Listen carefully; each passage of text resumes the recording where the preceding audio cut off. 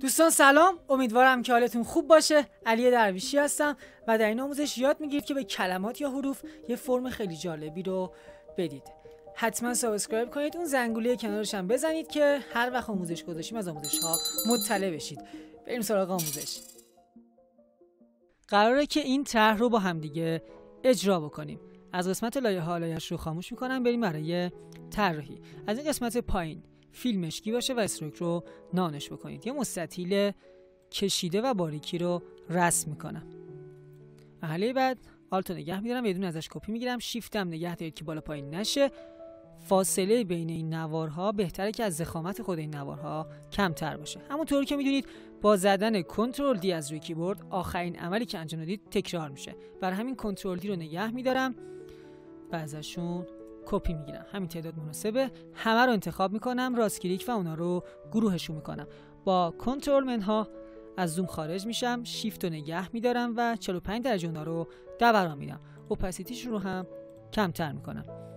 حالا میام و حرفم رو تایپ می‌کنم. حرف N رو تایپ می‌کنم. اونو میارم به مرکز صفحه.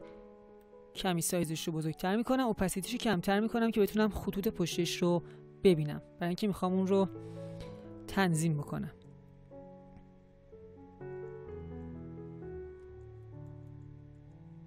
کمی اندازش رو باید کوچیکتر بکنیم.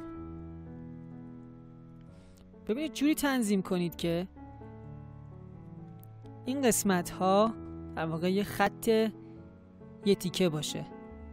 حالا اینجاها فرقی نمی‌کنه دو تیکه باشه. اینجاها که دقیقا به این گوشه نزدیک یه تیکه باشه و این کنج ها هم مثلث های کوچیکی ایجاد شده باشه.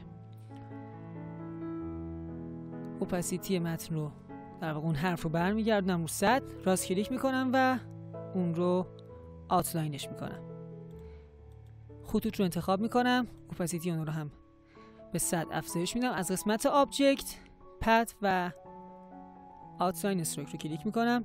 راست کلیک اونا رو ungroup شون می‌کنم. object این بار compound path و make رو کلیک می‌کنم. هم خطوط و هم حرف رو انتخاب می‌کنم.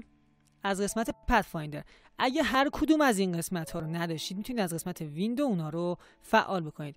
این گزینه سوم یعنی intersect رو کلیک می‌کنم. راست کلیک و اونا رو ungroup شون می‌کنم. زوم می‌کنم روی صفحه با کلیدهای کنترل و به اضافه. این مثلث کوچیک ها رو انتخاب می‌کنم و حذفشون می‌کنم. ابزار direct selection tool رو برمیدارم. از هر کدوم از این خط ها این دو تا anchor point انتهاییشو انتخاب می‌کنم. راست کلیک average رو both باشه و OK رو می‌زنم این رو برای همشون تکرار می‌کنم.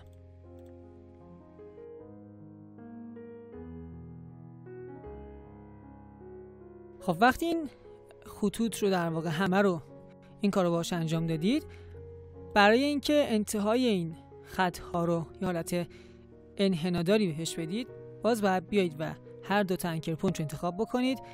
این بار رو یکی از این ویجت ها رو یکی از این دایره ها کلیک و به سمت داخل بکشید. تا انتها باید بکشید داخل که اون حالت خط قرمزی که کرویه ایجاد بشه.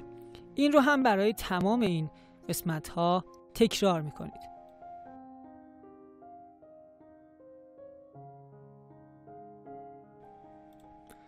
خب طراحی به پایان رسید. همونطور که مشاهده می‌کنید تونستیم رو یه همچین استایلی رو به ان بدیم. همه رو انتخاب می‌کنم راست کلیک و اونها رو گروهشون می‌کنم. می‌تونم هر رنگی که می‌خوام رو بهش بدم. حتما subscribe کنید. لایک و کامنت فراموش نشه. سوالی بپرسید جوابتون رو میدم. امیدوارم که از این آموزش لذت برده باشید. تا آموزش بعدی همتون رو به خدا میسپارم.